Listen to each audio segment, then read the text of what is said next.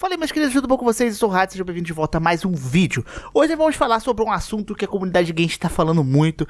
Tem bastante gente que ficou chateada, tem bastante gente que tá meio que falando bastante em forma de protesto contra Mihoyo, que é em relação à cor de pele dos personagens do jogo. Atualmente existem apenas dois personagens com um tom de pele um pouco mais escuro pro moreno de 40 personagens que o jogo possui, e agora tá lançando uma nova região.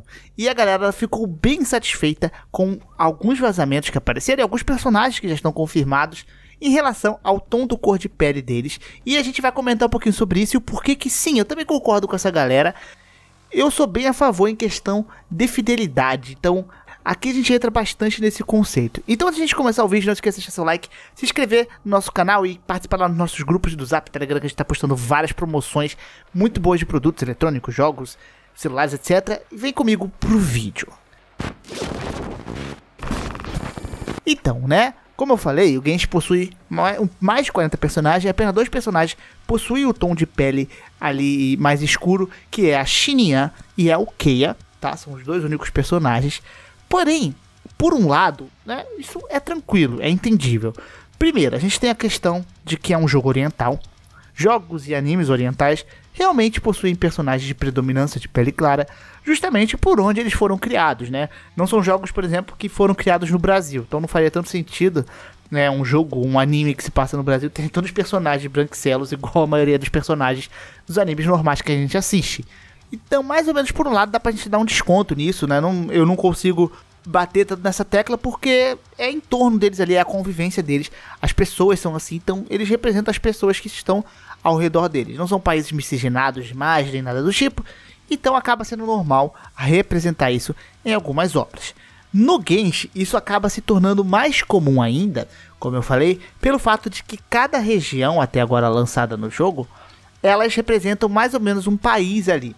Tipo, a gente tem a primeira região, que é o primeiro mapa, que é Mondstadt, que representa a Alemanha. Aí tem Liyue, que representa a China.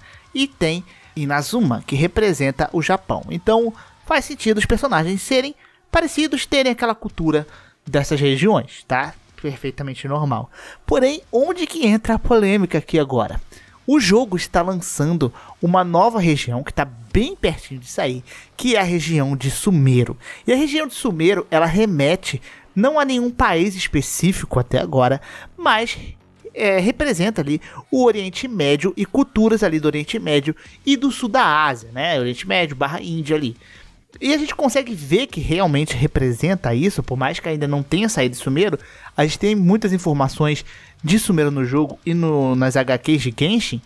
É, são os nomes dos personagens. Tem muitos NPCs que vieram né, de Sumeiro para Mondstadt, para outras regiões ali do jogo, que tem um nome predominantemente uh, do Oriente Médio. Tem Said, por exemplo, Vahid. São uh, todos nomes ali meio que inspirados, na maioria, em árabe, tá?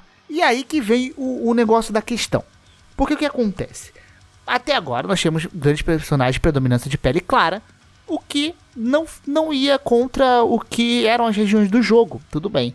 Só que agora, com alguns vazamentos, alguns personagens confirmados e outros vazamentos, nenhum personagem até agora da região possui pele morena. Literalmente nenhum, tá? Tudo bem que pode ter personagens que não são nascidos naquela região. Tem muitos personagens que vieram de outras regiões, por exemplo, e meio que pertencem àquela região. Tudo bem.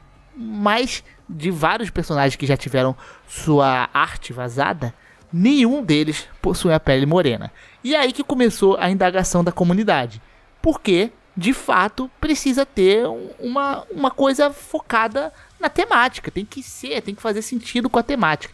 A gente tem as roupas, os climas ali desértico, por exemplo, dessas regiões, a música, os nomes, por que, que não a aparência dos personagens não são em relação a essa questão? Porque todos parecem personagens japoneses que, sei lá, estão migrando por Oriente Médio. É isso que parece, personagens orientais que vieram pro deserto do Saara lá da vida.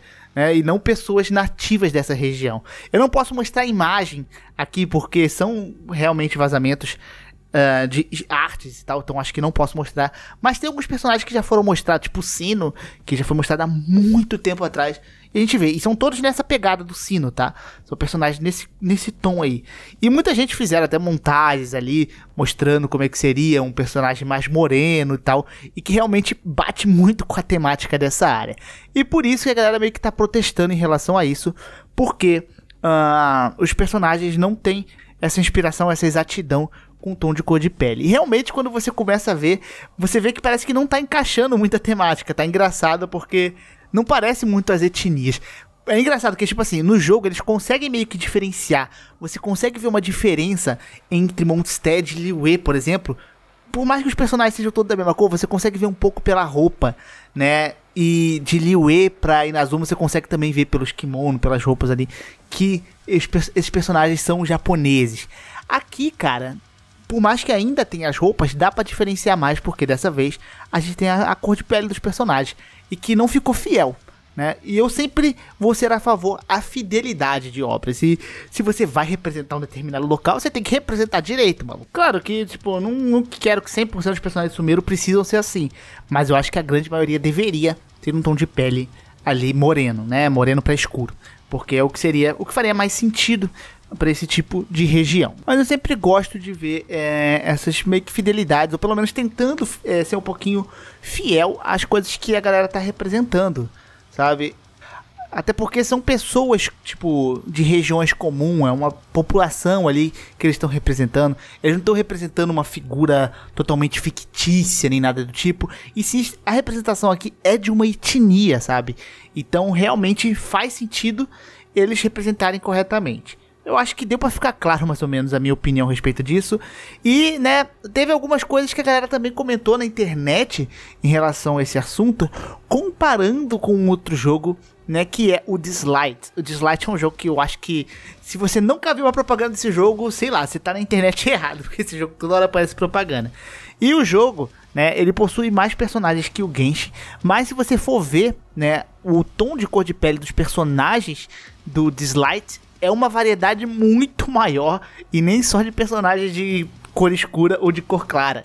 Simplesmente são tem amarelo, vermelho, é uma variedade de cor muito grande. E a gente consegue ver que o Genshin é muito padronizado pro branco 100% aí, cara. Então, realmente uh, falta um pouquinho disso, falta um pouquinho de uma misturazinha nessa região que as pessoas são assim e eu acho bem válido a reclamação dos jogadores. Eu espero que chegue até a Mihoyo, que eles lancem personagens assim mais pra frente. Eu acredito que esses personagens agora que já foram revelados não devem mudar, mas eu espero que mais pra frente eles mudem isso. Realmente é algo que ficaria muito mais interessante de se ver e ficaria bem mais, repetindo novamente, fiel à região que eles estão tentando representar.